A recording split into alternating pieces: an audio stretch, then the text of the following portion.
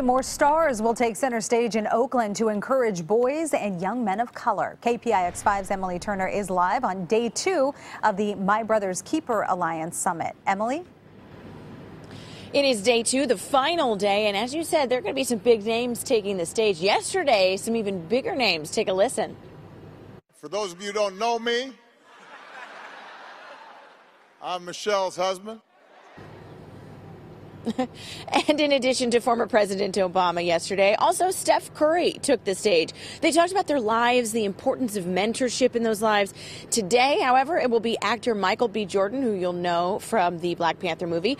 He'll be joined also by one of the co-founders of Black Lives Matter, among many other folks who are going to be taking the stage today.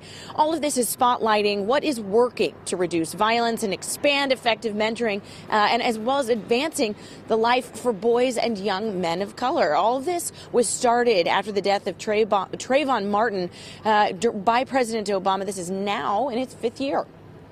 It's not about Trayvon anymore. It's about everybody that's in here, the young men that's in here. I'll never forget because it's like my first time actually seeing them in person.